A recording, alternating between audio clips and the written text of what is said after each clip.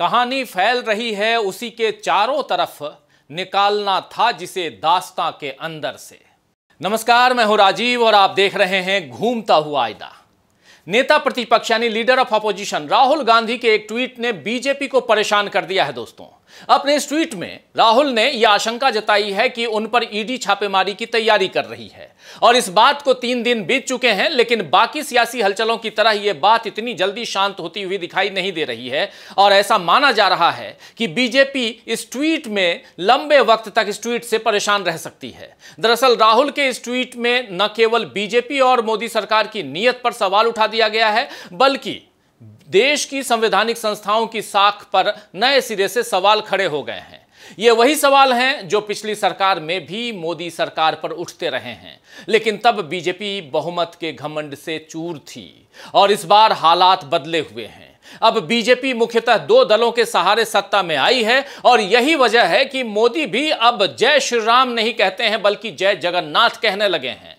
लेकिन क्या नारे बदल देने मात्र से बीजेपी अपना बचाव कर पाएगी? यह दिलचस्प सवाल राजनीति में खड़ा हो गया है। वैसे भी राहुल गांधी जिस अंदाज की राजनीति कर रहे हैं उसमें बीजेपी को हर बार अपने बचाव के लिए नए सिरे से ढाल बनानी पड़ती है। तो यह देखना भी दिलचस्प होगा दोस्तों कि राहुल गांधी के ट्वीट का मुकाबला करने के लिए बीजेपी कौन सी ढाल बनाती है। क्या है राहुल का ट्वीट जिस पर सियासत में नया उबाल आया है? पहले उसे देख लेते हैं। राहुल के ट्वीट को देखते हैं जिसपे जिससे कैसे सियासत में नया उबाल आ गया है। Apparently two in one didn't like my chakravyuh speech ED insiders tell me A raid is being planned. Waiting with open arms. Director ED, chai and biscuit on me. दरअसल इस ट्वीट में राहुल गांधी ने एक तरफ़ संसद में दिए गए अपने भाषण की याद दिला दी है कि कैसे चक्रव्यूह वाले भाषण में बीजेपी उलझ गई है और दूसरी तरफ़ इस, इसी ट्वीट में ईडी के डायरेक्टर को उन्होंने सीधे टैग करके मोदी को चुनौती दे दी है कि राहुल किसी भी किस्म की कार्रवाई से डरते नहीं हैं और चाहे उन पर कितना भी दबाव क्यों ना बनाया जाए वो टूटने वाले नहीं हैं। कांग्रेस सांसद प्रमोद तिवारी ने बताया है कि राहुल गांधी किस मिट्टी के बने हैं। आइए जरा प्रमोद तिवारी जी के इस बयान को सुन लेते हैं। ये इंदिरा गांधी का पोता है, जिसने पाकिस्तान के दो टुकड़े कर दिए थे।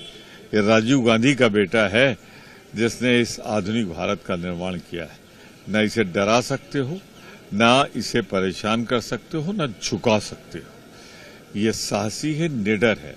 पहली बार देखने को मिल रहा है लोकसभा में कि एक बहादुर नौजवान देश के किसानों, मजदूरों की समस्याओं को उठा रहा है। नौजवानों की समस्याओं को उठा रहा है। बेरोजगारी, महँगाई के खिलाफ बोल रहा है। चक्रव्यूह में जो तुमने बनाया है ना, तोड़ के वो निकल जाएगा। डर लग रहा है ना उससे? तो ईडी की रेड कराओगे? कराना। हम कहा है राहुल गांधी ने कि हम खुली बाहों से इंतज़ार करेंगे। आप जानते हैं कि राहुल गांधी को बदनाम करने और उनकी छवि खराब करने में बीजेपी ने सालों साल मेहनत की और पानी की तरह पैसा खर्च किया। बीजेपी का एक ही सुप्रीम एजेंडा यही रहा कि किसी भी तरह राहुल गांधी को एक अप्रासंगिक राजनेता के तौर पर जनता के बीच पेश करे। कहा जा सकता है कि हिंदुस्तान की सियासी कहानी से राहुल के किरदार को बाहर साबित करने की कोशिश बीजेपी ने की, लेकिन आज का माहौल बता रहा है कि बीजेपी अपनी इस कोशिश में बुरी तरह फेल हो चुकी है। केवल कांग्रेस नेता ही नहीं, बल्कि इंडिया गठबंधन के बाकी नेता भी अब राहुल गांधी के साथ ही खड़े हुए दिखाई देते हैं और अब उन्हीं की तरह निडर राजनीति करते हुए बीजेपी की आँख में आँख डालकर चुनौती देते हुए इंडिया गठबंधन के नेता नज़र आते हैं। आपने देखा कि किस तरह उद्धव ठाकरे महाराष्ट्र में सीधे अमित शाह को ललकार रहे हैं। तेजस्वी यादव नीतीश कुमार को चुनौती दे रहे हैं। अखिलेश यादव हर आए दिन बीजेपी को याद दिला रहे हैं कि वो उत्तर प्रदेश में पिछड़ गई है और फिर भी योगी को हटा नहीं पा रही है। दरअसल राहुल गांधी ने राजनीति में बेखौफ होकर काम करने की जो शैली अपना ली है, अब इंडिया गठबंधन उसी पर चल रहा है और बीजेपी समझ नहीं पा रही है कि इसका मुकाबला कैसे किया जाए। क्योंकि बीजेपी ने तो सत्ता हासिल करने में हिंदुत्व और विभाजनकारी नीति के साथ साथ डर को भी अपना प्रमुख हथियार बनाया था। तो आइए दोस्तों, आज आईने की नज़र से पड़ताल करेंगे कि किस तरह एक एक करके बीजेपी की सारी रणनीति को राहुल ने नाकाम कर दिया है। और यह भी समझेंगे कि सत्ता के दो महीने में राहुल के सामने किस तरह हाफने लगी है बीजेपी। लेकिन आगे बढ़ने से पहले आइए देख लेते हैं राहुल गांधी का एक और ट्वीट जो 29 जुलाई को राहुल गांधी ने किया था।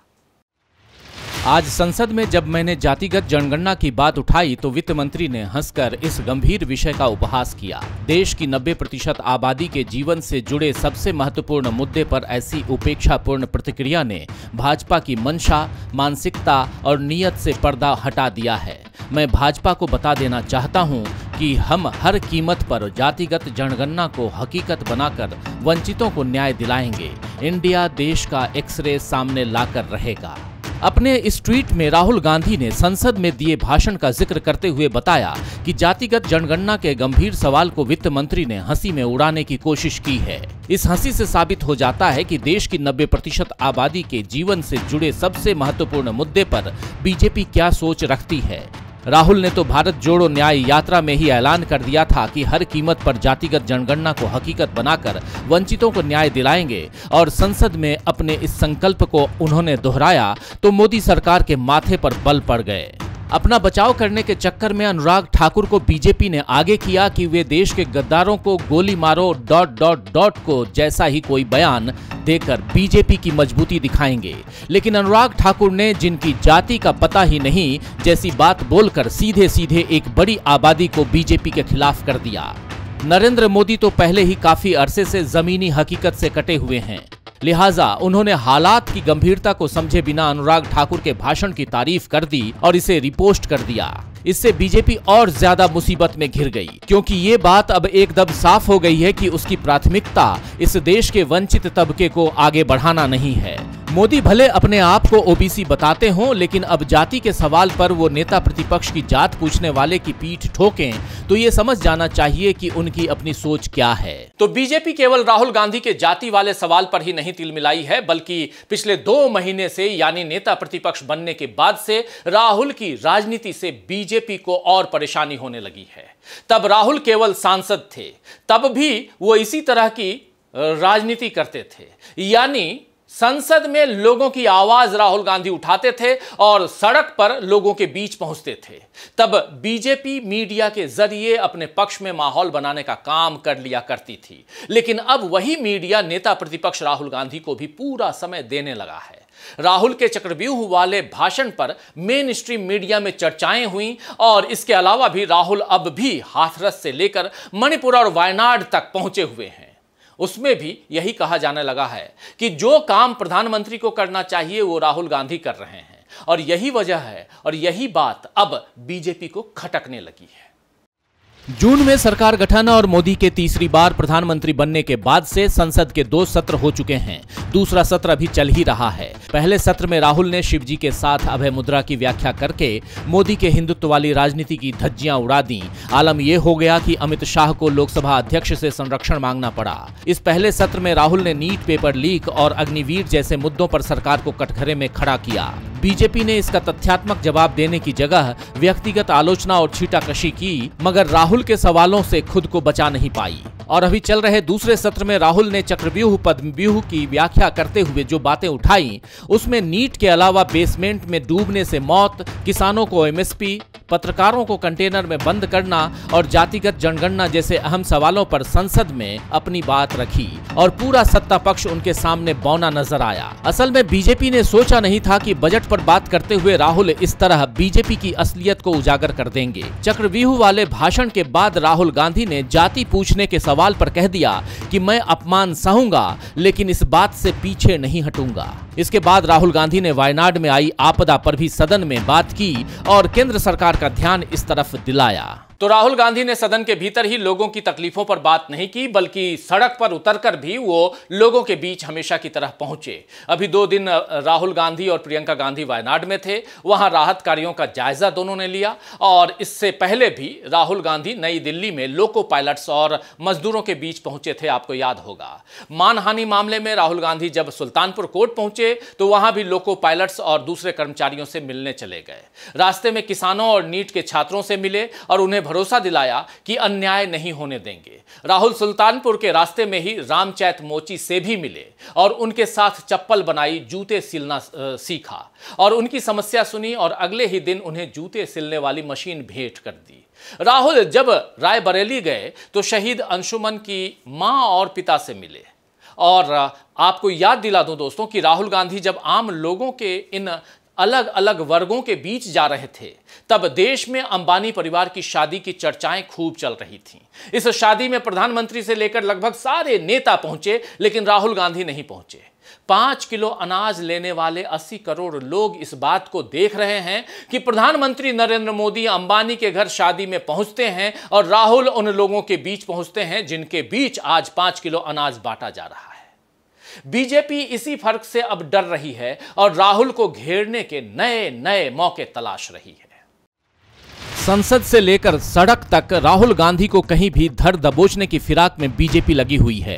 लेकिन सफ़ेद टी शर्ट पहनकर जेब में हाथ डाले बेखौफ राहुल गांधी को कहाँ और किस तरह दबाया जाए, ये बात बीजेपी को समझ नहीं आ रही है। अभी वायनाड से एक और दो अगस्त की आधी रात को राहुल गांधी ने जिस तरह ईडी को लेकर ट्वीट किया, उसे अब राहुल की हिट एंड रन पॉलिटिक्स बताने की कोशिश की जा रही है।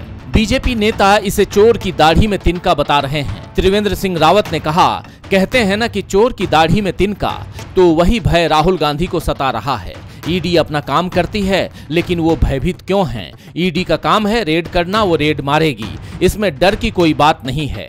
वहीं दिनेश शर्मा ने कहा, वे आजकल बेचैन हैं। उन्होंने इतना झूठ बोला है, इतनी अफवाहें फैलाई हैं, इसीलिए वे बेचैन हैं। तीन चार दिन तक वे वायनाड नहीं पहुँच पाए। अब जब वे वहाँ पहुँचे हैं तो उन्हें बेचैनी होना स्वाभाविक है। बेचैनी के कारण उन्हें रात को नींद नहीं आती है। इसीलिए जो मन आता है, वो ट्वीट करते हैं। उनकी बातों को जनता गंभीरता से नहीं लेती है। जबकि गिरिराज सिंह ने कहा, मैं समझता हूँ ये देश का दुर्भाग्य है कि राहुल गांधी संवैधानिक पद पर नेता प्रतिपक्ष हैं। सदन के अंदर तो झूठ बोलते ही हैं, लेकिन सदन के बाहर भी भ्रम फैलाने का काम करते हैं। तो राहुल गांधी के एक ट्वीट का जवाब देने के लिए जिस तरह बीजेपी नेता मैदान में उतर गए, उससे साफ़ ज़ाहिर होता है कि बीजेपी चाहे राहुल को जितना अप्रासंगिक बताए या उन्हें गंभीरता से न लेने की बात कहे, लेकिन उस पर राहुल की हर बात का असर होता ही है। जहाँ तक सवाल ईडी की छापेमारी का है तो यहाँ राहुल अभी दोनों तरफ़ से जीतते हुए दिखाई दे रहे हैं। अगर ईडी ने सच में राहुल गांधी के यहाँ छापा मारा तो राहुल गांधी का दावा सच हो जाएगा। और जनता के बीच यह संदेश जाएगा कि बीजेपी अपने फ़ायदे के लिए ईडी का राजनीतिक इस्तेमाल करती है। और अगर ईडी की छापेमारी नहीं हुई तो जनता यही समझेगी कि मोदी सरकार ने राहुल से डरकर अपने कदम वापस खींच लिए। वैसे इतना तय है कि राहुल ने आधी रात को यूँ ही कोई ट्वीट नहीं किया होगा। ईडी के सूत्रों ने ज़रूर उन्हें कोई खबर दी ही होगी। वैसे लोकसभा में अभी सत्ता पक्ष के तिरपन प्रतिशत सांसद हैं तो विपक्ष में सैतालीस प्रतिशत हैं। और ऐसे में नौकरशाही अब केवल बीजेपी के इशारे पर नहीं चल रही होगी। और यह माना जा सकता है, क्योंकि सत्ता में बदलाव की आहट या सियासत के बदलते रुख को अफसर शाही सबसे पहले भांप लेती है। खैर शायद निसार राही ने ठीक ही फरमाया है कि ये और बात की रस्ते भी हो गए रोशन ये और बात की रस्ते भी हो गए रोशन, दिए तो हमने तिरे वास्ते जलाए थे। तो आज के लिए बस इतना ही, फिर मिलेंगे खबरों के नए आईने के साथ। तब तक देखते रहिए डीबी लाइव। नमस्कार।